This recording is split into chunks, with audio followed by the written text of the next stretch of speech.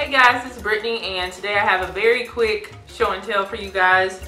So today's wig review is brought to you by Glamourtress.com and the wig that I'm going to be showing you guys is Sensationnel's Tuscany and this is their natural curved part lace wig um, and I have it in the color TP1B slash 30 slash 27. So it has a dark root that looks kind of like a number four and then it goes into this blonde color and then it goes back to brown, like a lighter brown than the root.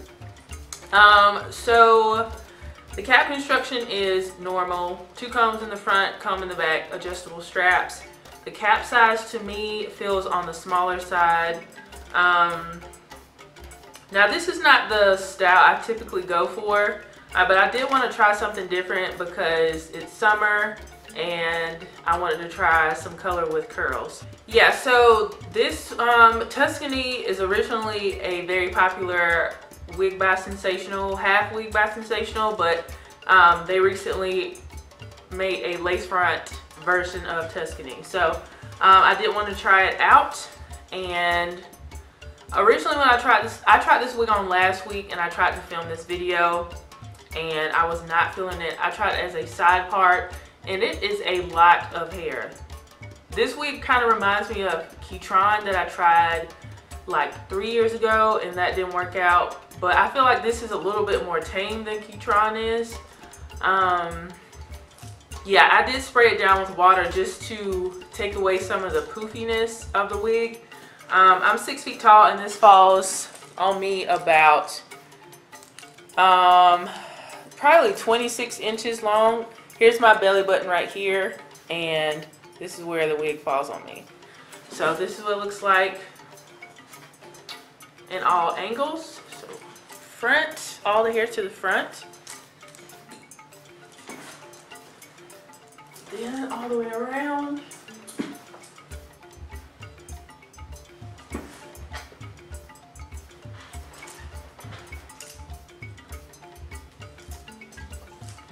I feel like it's growing on me because I told you guys I didn't like it when I tried it on last week, but I had to put a lot of work into this wig to make it to my liking.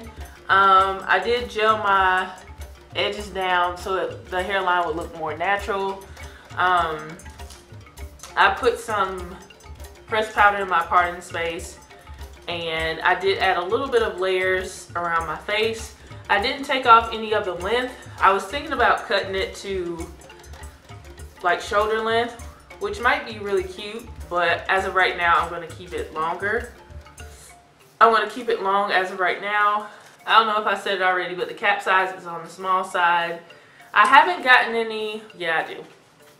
This wig is gonna tangle, but it's curly hair and I don't, it's more of a wave, but with curly and wavy hair, I don't really run my hands through it like that, but I am getting tangling and I am getting shedding from this wig. So be warned about that. Um, it does have shine to it and I sprayed some dry shampoo onto the top of the, the top of the wig. Um, let's see. And that's about it. Overall, I think it is kind of hard to work with, but it does give off a cute look though. I don't recommend it for everyone. If you're willing to put the time into it and you're into big hair that's really long, then this could be a good option for you. So if you enjoyed this video, go ahead and give it a thumbs up. I'll have links to where you guys can purchase this wig in the description box. I want to thank Glamourtress for sending me this wig to review for you guys. And I want to thank you guys for supporting my channel. If you haven't subscribed, go ahead and subscribe and turn on your notifications so you'll be notified every time I do another upload. And I will see you guys in the next video. Bye guys.